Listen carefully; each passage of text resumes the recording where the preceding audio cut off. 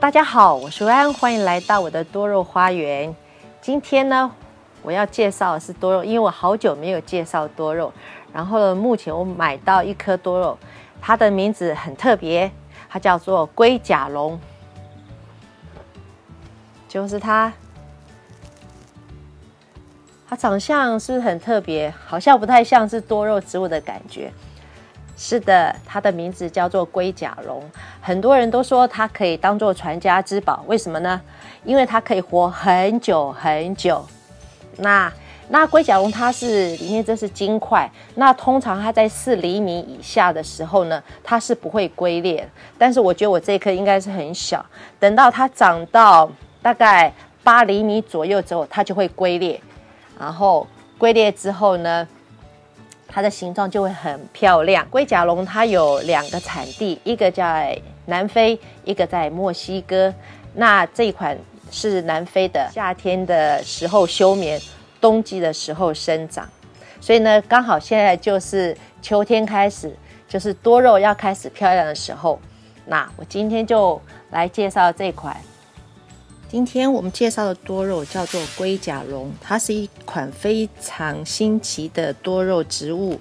那它最大特点就是它在这个茎块上面是呈现出这样子的状态，所以呢，在英文名字里面，他们就俗称叫 elephant foot 啊。其实它真正的名字在这里，英文名字。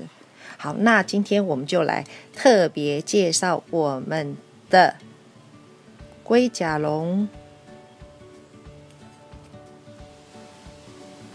龟甲龙有两个产地，一个是在南非，一个在墨西哥。那现在我手上这一款多肉是南非龟甲龙，那它是属于冬行种，就是在冬季生长。那你看它的叶片。是呈心形状态，是属于比较肥胖的。那如果是墨西哥呢，就属于比较瘦小、瘦长，就很好辨认它是墨西哥种的。那龟甲龙如何栽培呢？相对来讲，它是比较容易。那如果它在室温的时候呢？就有遮阴就行了。那我们通常就把它放在窗台上是很理想，甚至可以把它当成绿色植物来照顾。那至于它的土壤呢，我们用疏松透气、排水性好的多肉土来栽培它就可以了。那在花盆方面，我们也是要用呃紫砂盆或陶土盆最好。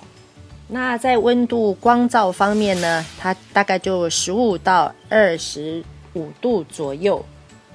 那浇水的原则，原则上大概十天左右，或者是你去触碰它的土，你觉得干了就可以了。好，就是这么的容易养护，但是在浇水方面要特别切记。那它在这个中心点的地方呢？千万不要去让它触碰到水哦，不然会从那边很快容易的黑腐掉。我们的龟甲龙呢，势必一定后面要放一些支架来支撑它，就像现在我这颗多肉一样。那我们就把它攀爬的藤蔓就这样子把它绕起来，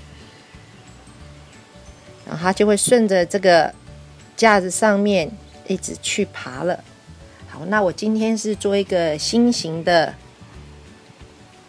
架子啊，就顺着这个来攀爬，是不是龟甲龙很适合当我们室内的绿色盆栽，而且可以美化环境哦。龟甲龙它只能用种子来繁殖，不能用其他的扦插方式，它感觉绿意盎然，很疗愈的感觉。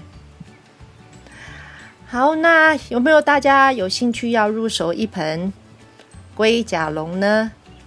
如果喜欢的话，你们就可以去买一盆来试种看看哦。今天我们的节目就到这边，喜欢我的节目请按赞哦，订阅并分享。那我们下次见喽，拜拜。